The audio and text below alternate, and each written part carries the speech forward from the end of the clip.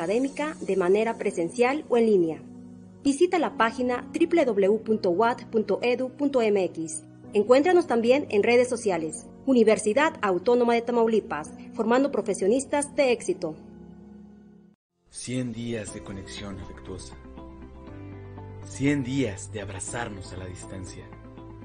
100 días de romper barreras digitales para establecer contacto, para permanecer unidos, para no dejar de extrañarnos. Muy pronto vamos a regresar. Cada vez falta menos para estar juntos de nuevo. Universidad Autónoma de Tamaulipas. ¿Sabías que, por dignidad, los escorpiones son los únicos insectos que se suicidan? Lo hacen una vez que no pueden escapar de una situación de peligro. Muy rara vez lo mata otro insecto o animal. Siempre son ellos los que terminan con su vida.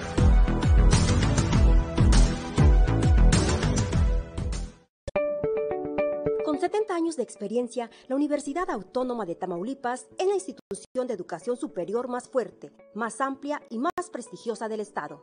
Cuenta con 26 planteles, oferta una gran variedad de programas académicos y tiene más de 2.870 profesores comprometidos con tu formación profesional. Visita la página www.wat.edu.mx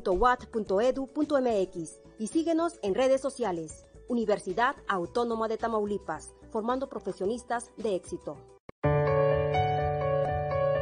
¿Sabías que se puede morir por no dormir? Una persona morirá más rápido por no dormir que por no comer. El hombre solo puede aguantar 10 días sin sueño y puede estar varias semanas sin comer.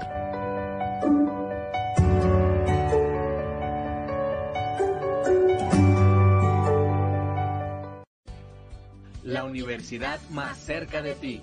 La Coordinación Ejecutiva de Comunicación Institucional, SECOM, Conecta la universidad a través de diversos medios de comunicación. Conoce, Infórmate, actualízate intégrate. y forma parte de nuestra comunidad. Universidad Autónoma de Tamaulipas, más cerca de ti. 100 días de conexión afectuosa. 100 días de abrazarnos a la distancia. 100 días de romper barreras digitales para establecer contacto, para permanecer unidos, para no dejar de extrañarnos. Muy pronto vamos a regresar. Cada vez falta menos para estar juntos de nuevo. Universidad Autónoma de Tamaulipas. ¿Sabías que los chimpancés pueden morir Muy buenas tardes, bienvenidos a Noticias WAD a través de tu canal universitario. Hoy martes 6 de octubre del 2020. Cintia, buenas tardes. Buenas tardes, Manuel. Muy buenas tardes a todos ustedes. Gracias por acompañarnos en este espacio de noticias. Quédese con nosotros porque tenemos mucha información importante para usted. Estamos transmitiendo, como ustedes ya lo saben, desde las instalaciones de la Universidad Autónoma de Tamaulipas en la capital tamaulipeca, que por cierto, el día de hoy, Cintia, está de pláceme, se está cumpliendo 270 años de Ciudad Victoria, capital de Tamaulipas. Así es, felicidades a nuestra hermosa capital y por supuesto hay que sentirnos orgullosos de ser victorenses. Antes Villa de Aguayo, hoy ya el nombre como lo conocemos, Ciudad Victoria, en donde las flautas son de harina. Son de harina, recuerde. Así es, vamos a conocer los titulares. Capacita Universidad Autónoma de Tamaulipas a empresas en gestión de la calidad. Fomenta la máxima casa de estudios, cultura de protección y seguridad de la información personal. México mostró que puede vigilar por tierra y por aire mediante drones su frontera. El Nobel de Medicina distinguió a tres científicos por el descubrimiento del virus de la hepatitis C. En información de cultura y entretenimiento, investigador de la máxima casa de estudios expone creación musical basada en la Huasteca.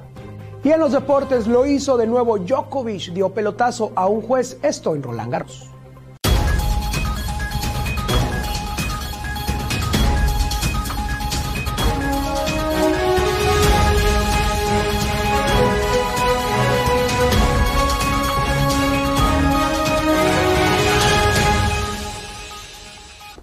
A nombre de la Coordinación Ejecutiva de Comunicación Institucional de la máxima casa de estudios, le damos la bienvenida. En Noticias Watt a través de tu canal universitario. Saludamos con muchísimo gusto a los que nos ven y nos escuchan a través del canal 83 de su sistema de cable Easy y también a través de nuestras redes sociales. Gracias, gracias por ser parte de Noticias Watt y estar bien informados de la Universidad Autónoma de Tamaulipas. Y si me permite, arrancamos con la información y es que la máxima casa de estudios está capacitando a empresas en gestión de la calidad. El curso fue impartido por el maestro Eric Benito Salinas Maldonado, quien compartió la importancia y los beneficios de implementar implementar la gestión de calidad en las organizaciones.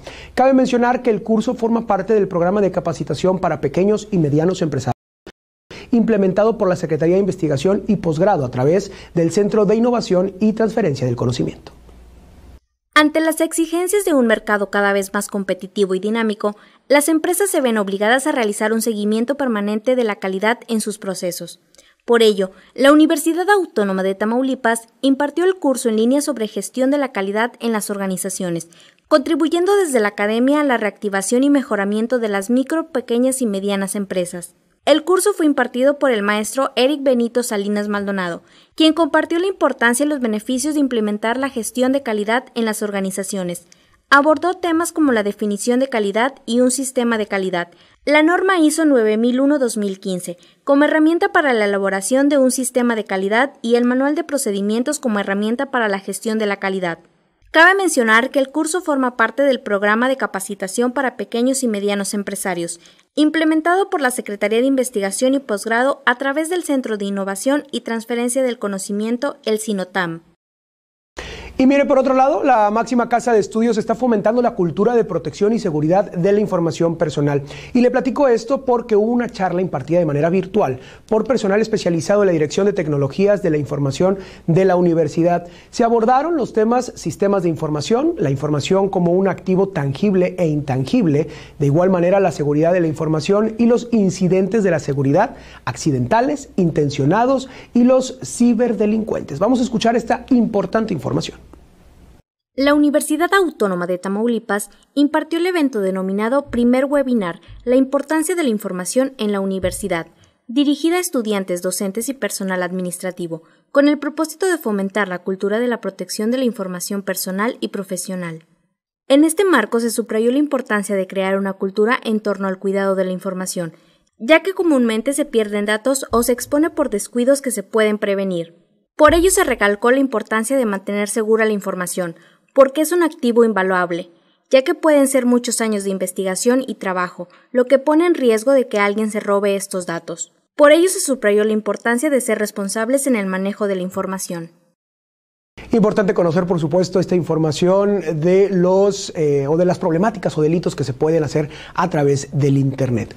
Por otro lado, realizan coloquio en psicología clínica y de la salud. Correspondió al director de esta unidad académica, el maestro César Humberto Carranza Abeldaño, dar la bienvenida al evento que se transmitió a través de la plataforma Teams. El evento organizado por la Coordinación de la Maestría en Psicología Clínica y de la Salud se divide en tres bloques. ¿Cuáles son? Vamos a escucharlos. La Unidad Académica de Trabajo Social y Ciencias para el Desarrollo Humano realizó el primer coloquio en Psicología Clínica y de la Salud, cuya finalidad fue presentar a estudiantes los temas de actualidad que contribuyan en fortalecer su formación profesional. El director maestro César Humberto Carranza Beldaño dio la bienvenida al evento que se transmitió a través de la plataforma Teams. El evento organizado por la Coordinación de la Maestría en Psicología Clínica y de la Salud se dividió en tres bloques. El primero se dedicó al tema de victimización y polivictimización y su relación con la salud mental en adolescentes. En el segundo bloque se impartieron los temas bienestar espiritual y calidad de vida en pacientes con cáncer.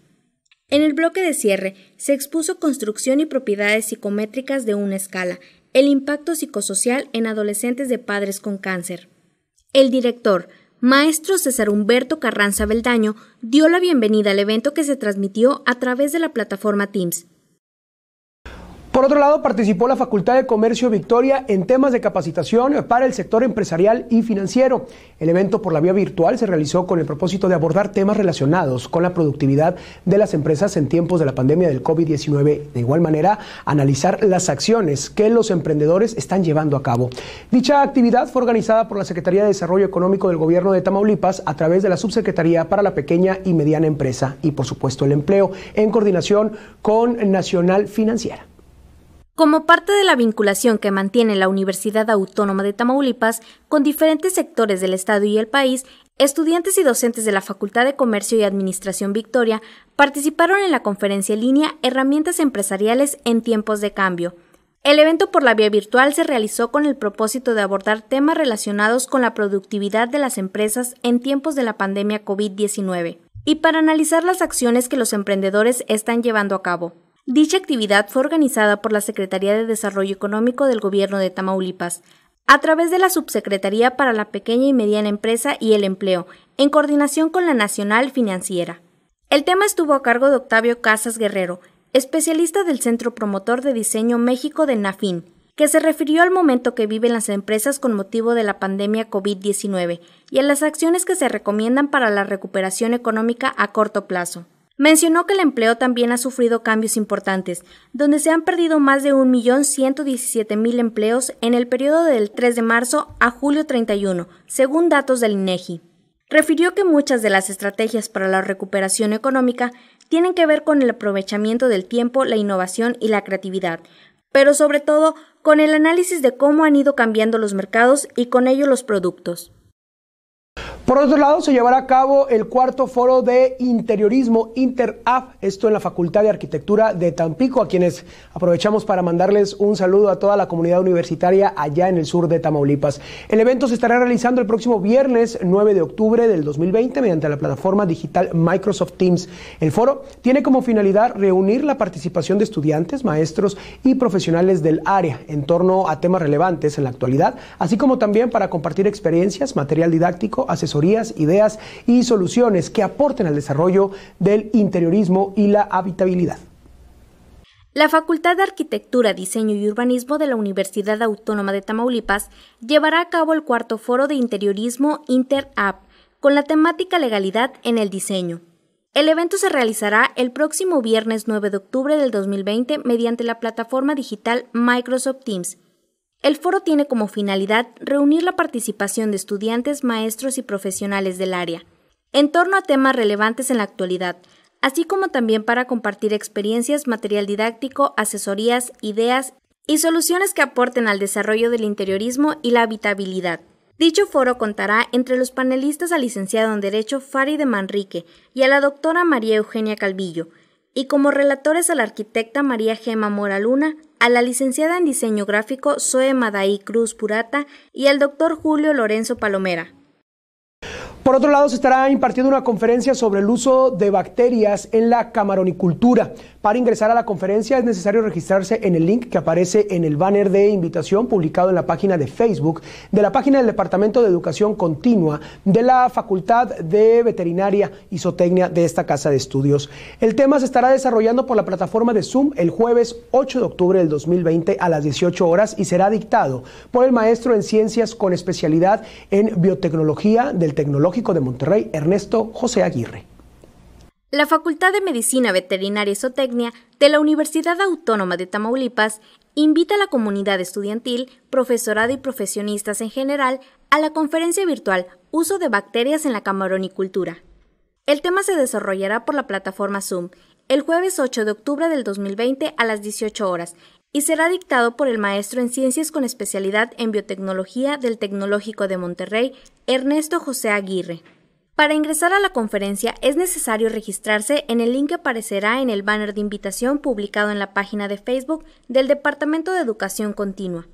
Para mayores informes, los interesados pueden escribir al email imleiva.docentes.wat.edu.mx de la Coordinación de Educación Continua perteneciente a la División de Estudios de Posgrado e Investigación de la Facultad de Medicina Veterinaria y Zootecnia.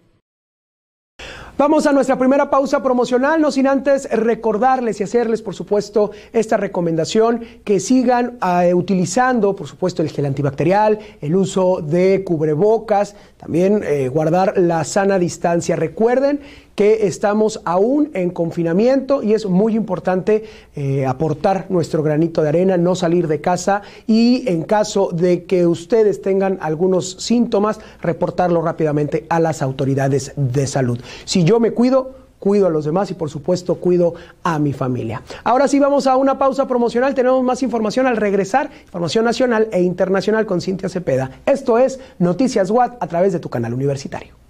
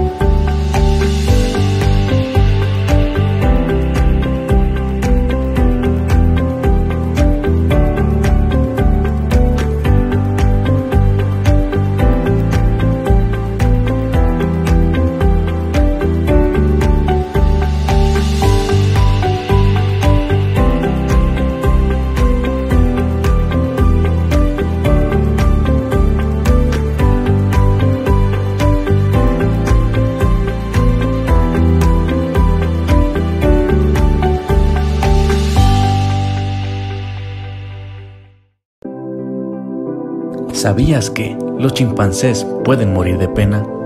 Un chimpancé puede deprimirse y hasta morir de pena por la muerte de un ser querido, quizás su madre. Como ejemplo tenemos la triste historia de Flint y su madre Flo.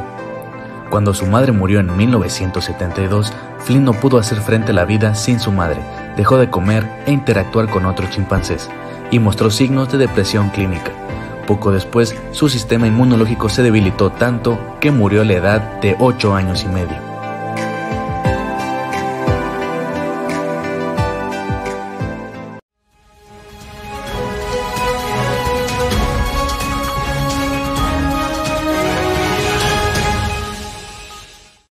Gracias por continuar con nosotros aquí en Noticias Watt. Mi nombre es Cintia Cepeda y los invito a que nos acompañen a conocer las notas nacionales.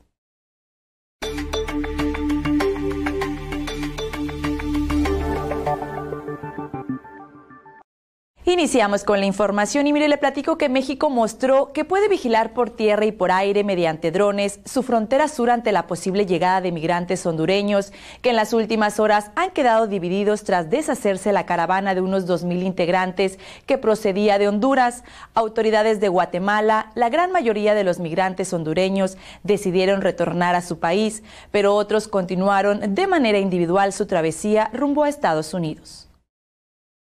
Y mire, cientos de afectados de los casi 600 mil que dejó el desfogue de una presa en el estado de Tabasco se han metido a rescatar y poner a salvo sus bienes y pertenencias en las últimas horas.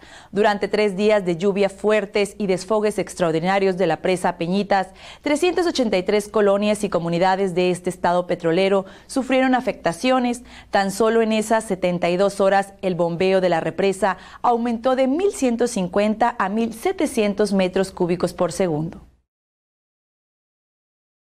Continuando con más, mire la cuenca del río Lerma, considerada como una de las más contaminadas del país, está en la mira para su rescate con acciones como la construcción del colector Verdigel 2 y la modernización de las macroplantas Toluca Norte y Oriente. El programa hídrico integral del Estado de México 2017-2023 revela que existen 55 plantas tratadoras en la cuenca del río Lerma. Destacan la norte y la macroplanta Toluca Oriente, con capacidad de mil litros por segundo.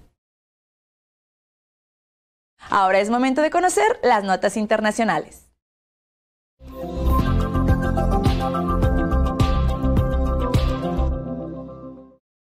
El Nobel de Medicina distinguió a tres científicos por el descubrimiento del virus de la hepatitis C, un hallazgo que ha hecho posible el desarrollo de nuevos test sanguíneos y de medicinas para hacer frente a un problema de salud global. Los estadounidenses Harvey Halter y Charles Rice y el británico Michael Houghton fueron distinguidos por la Asamblea Nobel del Instituto Karolinska por su contribución en la lucha contra la hepatitis por transfusión, causante de la cirrosis y el cáncer de hígado, que ha permitido salvar millones de vidas. Y miren, otro orden de ideas, le platico que la multinacional estadounidense Microsoft anunció una inversión de 400 millones de euros para la creación de tres centros de gestión de datos en Atenas, desde donde controlará sus servicios en la nube en todo el sureste europeo, lo que se prevé que genere grandes beneficios para la economía griega. Se trata de la mayor inversión de Microsoft en los 28 años de su presencia en Grecia. Es un voto de confianza en su economía, su pueblo y su gobierno. La ciudad de Madrid y otros nueve municipios de la región, en total casi 5 millones de personas, vivieron el primer día laborable con restricciones a la movilidad. Esto ante el avance de la pandemia del coronavirus. El acceso a la capital se produjo con normalidad, sin grandes reducciones de tráfico, tanto por carretera como por ferrocarril de cercanías. A los millones de habitantes de la Comunidad de Madrid se unen los miles de trabajadores que llegan diariamente a las regiones colindantes para trabajar o hacer gestiones. Hasta aquí la información nacional e internacional. Los invito a que nos sigan en nuestras redes sociales. Nos encuentras en Facebook, Twitter e Instagram como tu canal universitario. Por ahí los esperamos para estar en contacto con todos ustedes. Ahora los invito a conocer las finanzas.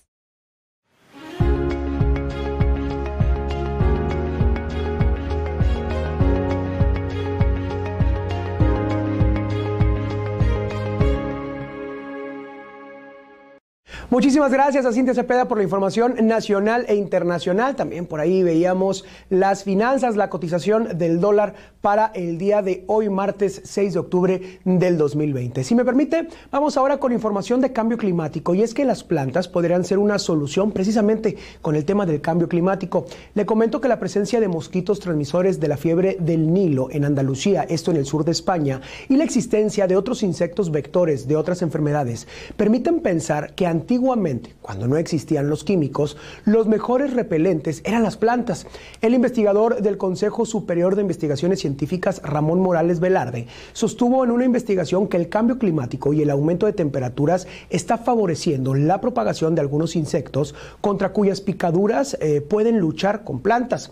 Una de las plantas más conocidas y eficaz para este propósito es el ailanto, explicó el biólogo, también conocido como árbol del cielo, por la gran altura que alcanza. Asimismo, señaló que poca gente lo conoce, pero es un repelente de mosquitos de primera por el olor de sus hojas. Por otro lado, mencionó que la albácar tiene también propiedades para alejar a los insectos, indicando que es una planta muy fácil de cuidar en casa y que antiguamente las personas colocaban ramos para repelerlos, así como el eh, clavelón turco, cuyo olor fuerte ahuyenta de igual manera los insectos. Sin embargo, el biólogo advirtió que hay algunas plantas muy tóxicas como los tejos y todas sus hojas contienen sustancias dañinas que pueden ser eh, perjudiciales para la salud.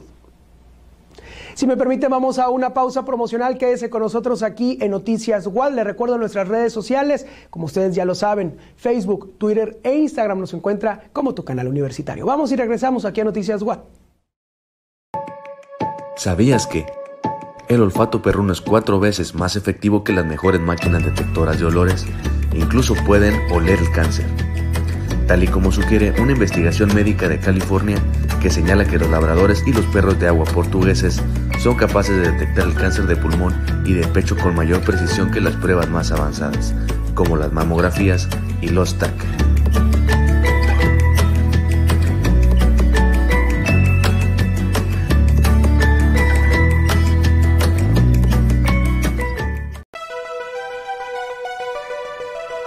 ¿Sabías que, por dignidad, los escorpiones son los únicos insectos que se suicidan? Lo hacen una vez que no pueden escapar de una situación de peligro. Muy rara vez lo mata otro insecto o animal. Siempre son ellos los que terminan con su vida.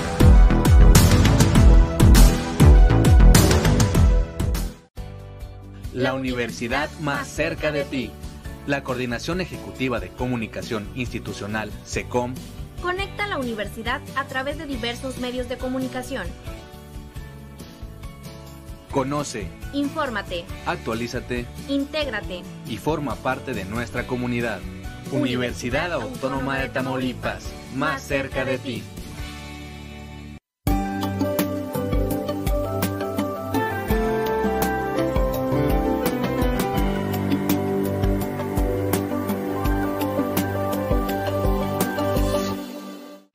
Estamos de regreso aquí en Noticias Guad. Gracias por continuar con nosotros prácticamente ya en nuestra recta final de este espacio informativo de hoy, martes 6 de octubre del 2020. Veamos la información del pronóstico del tiempo, tanto en eh, la frontera, en el centro y sur de Tamaulipas, bastante cálido se va a encontrar el clima el día de hoy, a diferencia que en el sur de nuestro país, porque el huracán eh, Delta por ahí está pegando en las playas de Cancún, entrando por el Golfo de México. Información es importante que como quiera se la demos a conocer. Vamos ahora con Talía Vázquez y Anuar Díaz, que ya están listos con su sección Cultura y Entretenimiento y los deportes.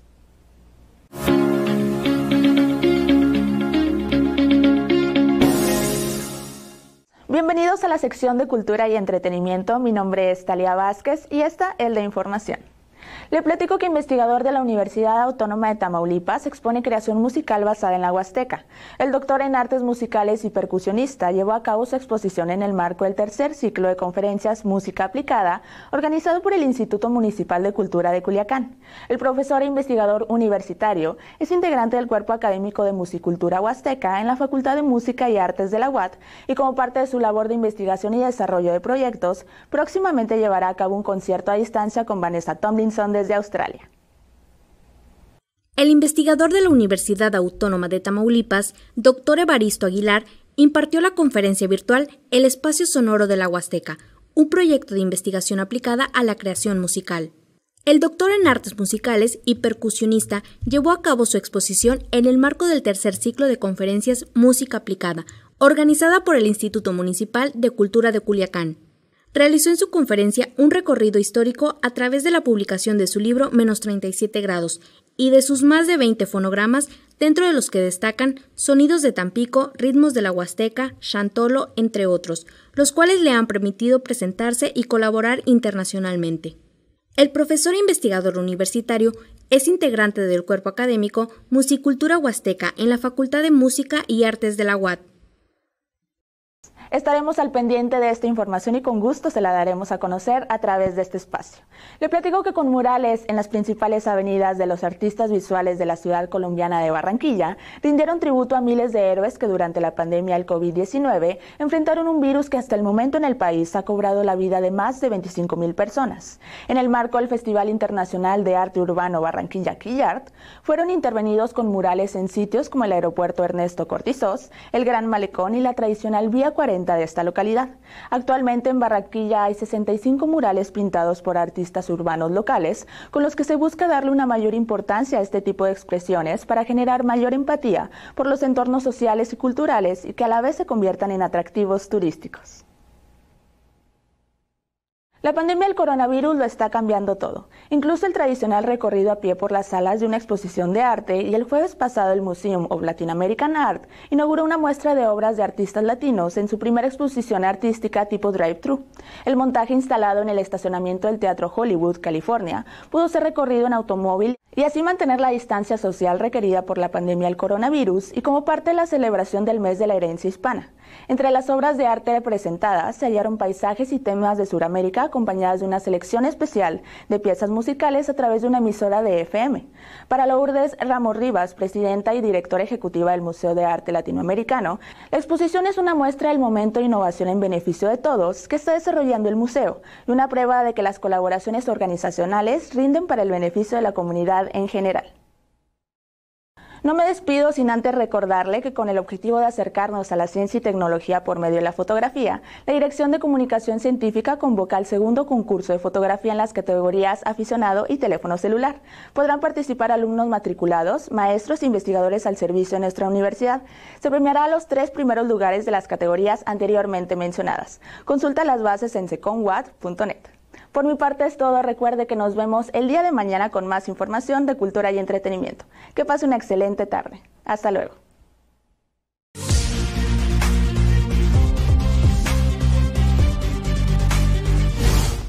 Muy buenas tardes, ya tenemos lista la información deportiva. La mala fortuna con los jueces persigue a Novak Djokovic, quien en su encuentro ante Karen Kachanov en los octavos de final del Roland Garros golpeó de forma involuntaria a uno más, lo que revivió los temores del US Open. Apenas en el primer set, el número uno del mundo se lidiaba ante Kachanov, aunque cuando intentó devolver un servicio de su oponente ruso, acabó por estrellar la pelota en el rostro del juez ante lo complicado que le resultó llegar a ella. Djokovic fue descalificado del abierto de Estados Unidos el mes pasado después de golpear en la garganta a la jueza de línea Laura Clark en el Flushing Meadows, luego en su juego ante Pablo Carreño Busta. En lo que va del año, Djokovic únicamente perdió ese encuentro y ahora se erige como uno de los máximos favoritos para quedarse con el Roland Garros, en donde por fortuna no fue descalificado y logró vencer al ruso por parciales de 6-4, 6-3 y 6-3. En otras noticias, el equipo del Barcelona ha perdido 97 millones de euros como consecuencia del impacto de la pandemia en sus cuentas, según reveló el vicepresidente económico Jordi Moix en un encuentro telemático con los medios. En este periodo, la entidad azulgrana ha dejado de ingresar 203 millones de euros y ha gastado 74 millones menos. Se han reducido los ingresos en las partidas de estadio, menos 47 millones, patrocinadores y giras, menos 37, tiendas, menos 35, derechos de televisión, menos 35, otros, menos 29, el Museo del Barcelona menos 16 y eventos menos 3. El club ha reducido su gasto en 74 millones, un 2% menos de los cuales 42 son por reducción de los salarios deportivos, 30 en gastos de gestión y el resto en salarios no deportivos. Sin la afectación del COVID-19, el club tenía previsto unos beneficios de 2 millones de euros. Y no nada más al Barcelona le pegó la crisis económica. La ausencia de los aficionados en los estadios orilló al Arsenal a despedirse de la persona que le da vida al Gunner Saurus, la popular mascota del club, lo cual ha generado una gran indignación entre los fanáticos y llevó a clubes rivales a despedirlo. La ausencia de aficionados con los cuales interactuaba el popular personaje fue un detonante mayúsculo que orilló al club a despedir a Jerry Cui, persona que desde hace 27 años portó el disfraz para amenizar las jornadas en el estadio de los Gunners. Los aficionados, en tanto, hicieron un GoFundMe, una recaudación económica que tiene como objetivo salvar a la mascota. Después de esta noticia, se rumora de la contratación de la mascota por el Fútbol Club Sevilla de la Liga de España. Lo que les había comentado el día de ayer se hizo realidad. El jefe Boy es el nuevo director técnico del Mazatlán FC. Y los resultados del Monday Night, los Kansas City Chiefs se encargaron de mantener el invicto ante los Patriotas, mientras que los Packers pasaron por encima de los Atlanta Falcons. Es todo por la información deportiva. Mi nombre es Anuar Díaz. Nos vemos mañana.